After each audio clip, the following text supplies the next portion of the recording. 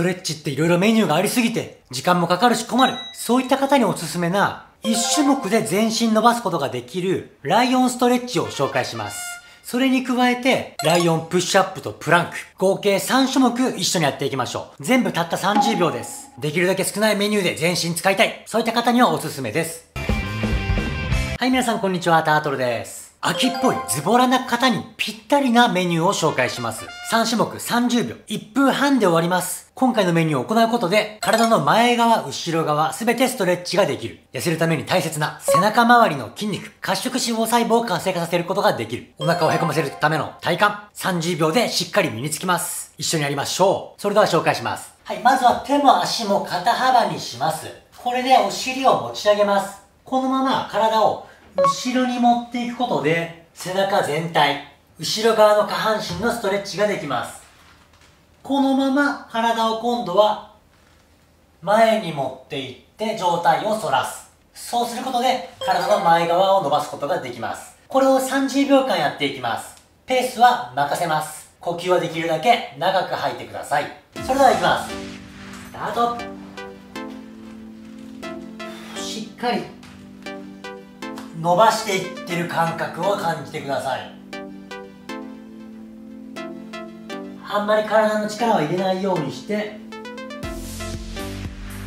リラックスです。体の力が抜けている時にしっかりストレッチされます。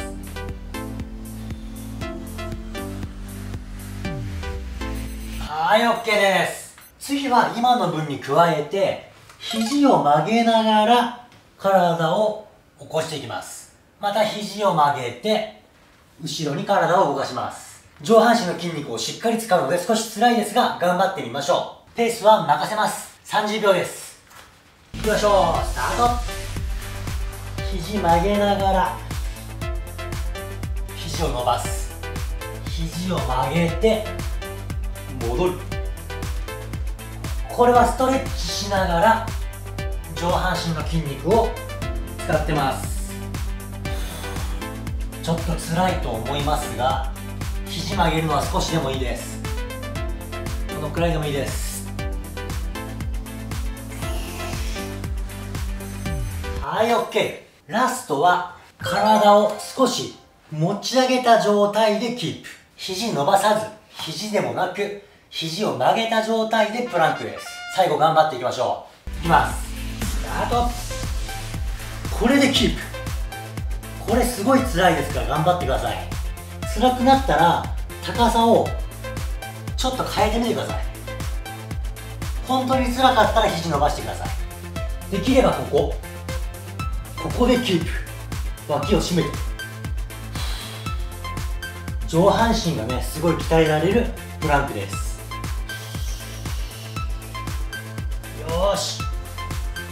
OK! お疲れ様でした。